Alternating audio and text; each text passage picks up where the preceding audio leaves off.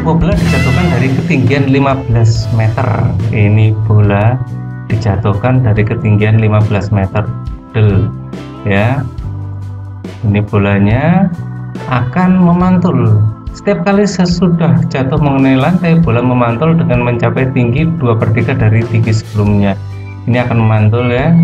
Nah tinggi sekarang ini adalah 2 per 3 dari tinggi sebelumnya. Nah pada saat benda jatuh bola jatuh ini lintasannya hanya ke bawah. Ya. Setelah dia memantul lintasannya ada ke atas ada ke bawah. Ini penting untuk dipahami ya. Panjang lintasan bola itu sampai berhenti adalah nah sebaiknya ini kita pisahkan yang 15 meter ini. 15 ini kita pisahkan. Jadi nanti lintasan total itu ada 15 ya.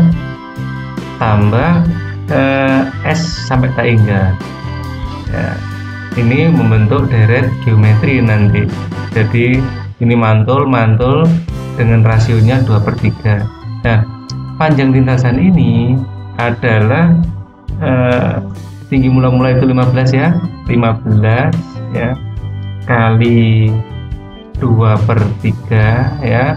Nah karena ini ada gerakan ke atas dan ke bawah dikalikan 2 ini adalah 20 ini akan menjadi A nya ya.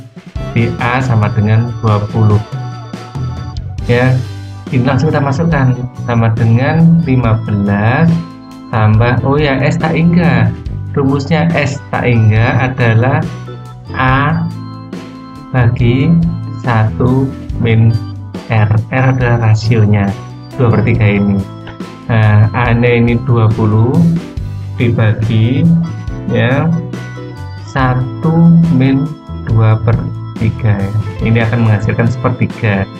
Ini akan menjadi 15 tambah 20 dibagi 1 per 3 ini akan luas total ini akan menjadi luas panjang total ya lintasan total. Ini akan menjadi 15 eh, tambah 20 kali 3 per 1 sama dengan 15 kali 60 sama dengan 75 meter. Dan jawabannya adalah yang B